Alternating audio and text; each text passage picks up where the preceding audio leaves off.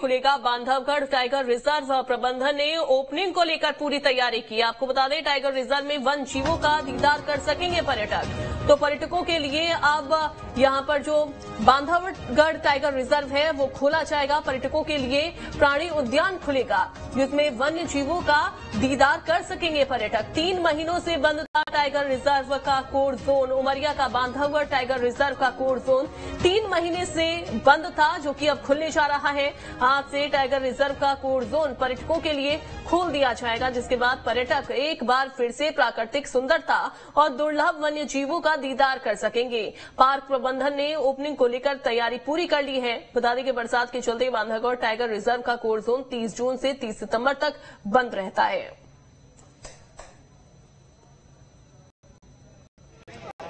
तो Bandhavgarh tiger reserve आज से खुलने जा रहा है। पर्यटकों के लिए ये प्राणी उद्यान खुलेगा और अलग अलग वन्य जीवों के दीदार कर सकेंगे पर्यटक।